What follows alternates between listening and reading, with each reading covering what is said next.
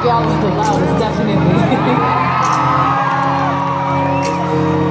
Thank you guys for having me tonight, once again.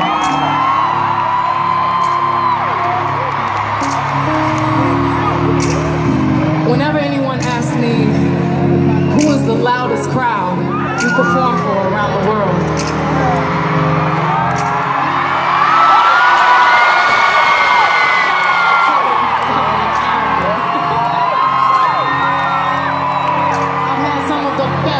shows in my career in Dublin. Um,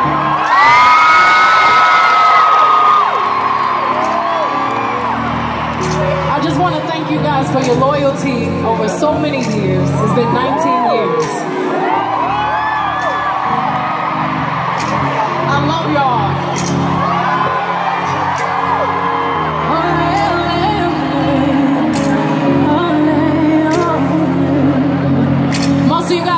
Destiny's Child.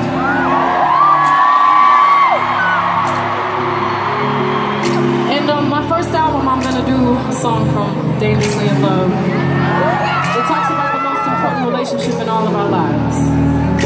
And that's the relationship we have with ourselves. Everything else is a bonus. If you've ever been hurt, if you've ever had your heart broken, we all survived, don't we?